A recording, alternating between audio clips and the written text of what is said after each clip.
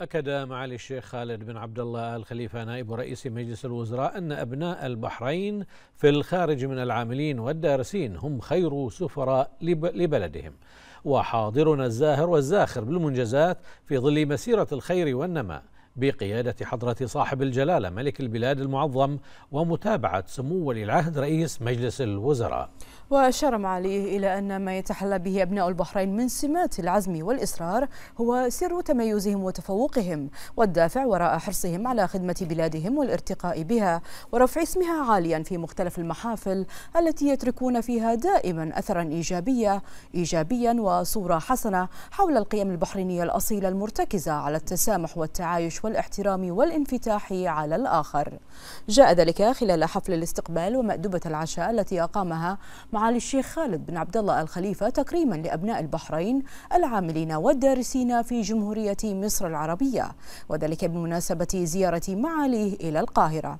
وخلال الحفل حفل الاستقبال حيا معالي كل يد تبني وتعمل وتتعلم من أجل البحرين في الداخل والخارج في سبيل المساهمة في رفعة المملكة وإعلاء شأنها والمشاركة في تنميتها وذلك من منطلق ما توليه الحكومة من اهتمام كبير بتطوير قدرات ومهارات المواطنين وتشجيعهم على العمل الجاد والتحصيل العلمي المتميز.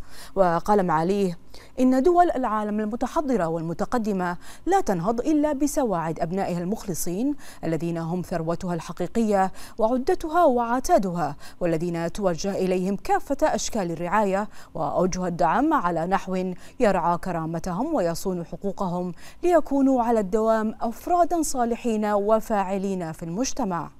كما حث معالي أبناءه العاملين والدارسين في جمهورية مصر العربية على مواصلة الجد والاجتهاد وأن يضعوا خدمة بلادهم نصب أعينهم.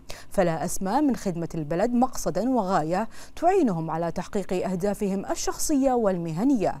راجيا لهم التوفيق والسداد في جميع ما يصبون إليه. من جانبهم أعرب أبناء مملكة البحرين من العاملين والدارسين في جمهورية مصر العربية عن بالغ فخرهم واعتزازهم وتشرفهم بلقاء معالي نائب رئيس مجلس الوزراء.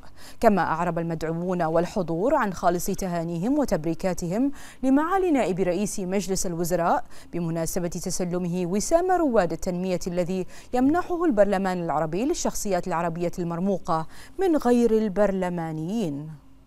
ساعدنا بلقاء الشيخ خالد بن عبد الله آل خليفة وساعدنا بحصوله على الوسام البرلمان العربي وتعرف علينا وعلى أبناء الطلبة البحرينيين كلهم هني وحسينا الصراحة بأجواء البحرين اللي فقدناها من زمان. صار لنا ست سنين حرفيا موجودين هني و حرفيا حسينا بأهلنا ووجودنا في البحرين. وواجد استانست إني بين الناس اللي أعرفهم بين ناس من البحرين وتعرفت على كذا بنت.